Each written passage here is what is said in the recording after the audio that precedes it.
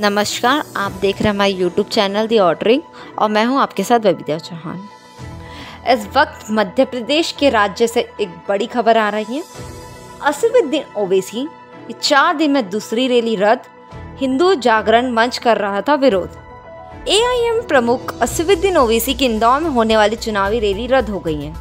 हिंदू जागरण मंच के कार्यकर्ता ओवैसी की रैली का विरोध कर रहे थे और काला झंडा दिखाने की तैयारी में थे।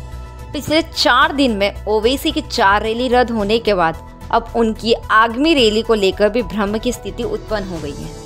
मध्य प्रदेश के निकाय चुनाव हो रहे हैं तो शहर की सरकार, शहर की सरकार चुनने के लिए जनता वोट करने वाली है।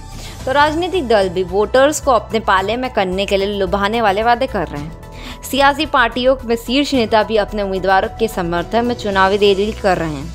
मध्य प्रदेश में चुनावी रैलियों का मौसम है। तो वहीं निकाय चुनाव के बहाने सूबे में अपनी सियासी ज़मीन तैयार करने की कोशिश में एआईएम अध्यक्ष असुद्दीन ओवैसी भी जुटे हैं। असुद्दीन ओवैसी इस मुहिम का तगड़ा झटका लगा है। मध्य प्रदेश में असुद्दीन ओवैसी की चार दिन में दो रैली रद्द हो चुके हैं। असुद्दीन ओवैसी को 30 जून के दिन पंडारी नाथ इलाके में रैली को संबोधित करना था, जो कि रद्द हो गई हैं। तो अब वह इंदौर की रैली भी रद्द करनी पड़ी। असुद्दीन ओवैसी, तीन जून को इंदौर में चुनावी जनसभा को संबोधित करने वाले थे, जिसे एन मौके पर रद्द करना पड़ा।